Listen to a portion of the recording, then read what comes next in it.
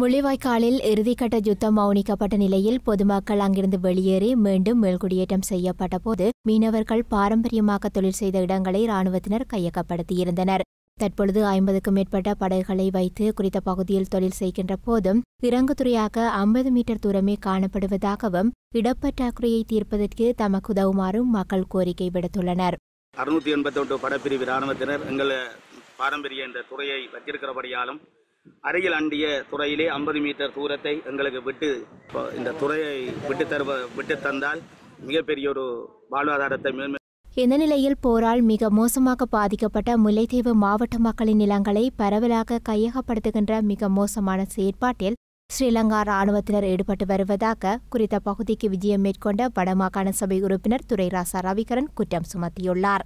இதிலே ஒரு ஐம்பது மீட்டர் தூரமான இடத்திற்குள் ஐம்பது படகுகளை எப்படி இழுக்க முடியும்? இதுதான் இந்த மக்களுடைய கோரிக்கை.